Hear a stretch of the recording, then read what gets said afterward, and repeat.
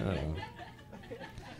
Always seem to get in trouble with people. I don't know what happens to me. Uh, I was in traffic once, and a guy behind me lost his mind. That ever happen to you? The guy behind you in traffic just decides that you're the problem. It's you. I don't know what happened. I'm sitting in this car, and there's just there's 50 cars ahead of me before any light, and the guy behind me just starts beep beep beep beep beep. I look at him, and he's honking just at me. He's amazed that I'm not going. He's going, go, Jesus! Me, just go! Screaming out his window at me. Like I'm driving all 50 cars there, you know? I'm pushing them like shopping carts in a parking lot.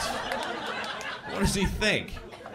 He keeps yelling, go! And I, I'm trying to do that thing. What? I can't. What do you want? What do you want? Why are you. But it just made him madder. He was like, he was like purple and crazy. And I'm laughing at him, you know, till he gets out of his car. He's one of these guys. Gets out of his car, comes up to my car, starts screaming at me, "Move it! Move it!" And what am I gonna What am I gonna say back? What's gonna be my argument that's gonna make him see clearly? You know. Well, I can't because of all the cars. I'm not able to get through the cars because they're solid. They're made of solid material. You know what I mean? And he's gonna go, oh yeah, I. Oh no, I didn't know they were solid. That's right. Yeah, you can't drive through the cars. I'll just go back to my car and wait. I'm sorry. That's not gonna happen. But he kept yelling at me, so I just decided, you know what? I'm gonna argue with this guy. I'll argue with him, but I'm gonna argue about something else. I'm not gonna have his argument. I'm gonna have mine. So he goes, "Move it!" And I go, "Well, give me back my jacket."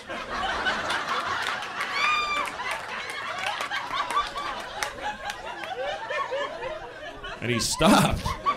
And I was like, "Yeah, you got my jacket. Give it back now. I want it."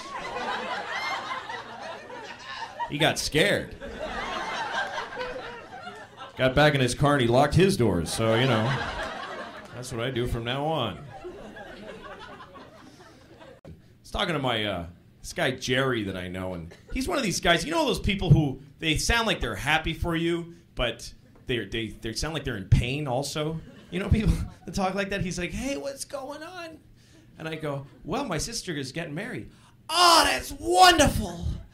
Oh, that's ter- oh, that's terrific. Yeah, I, I think we're gonna have a baby. Oh my god! Ah! Ah! God bless you!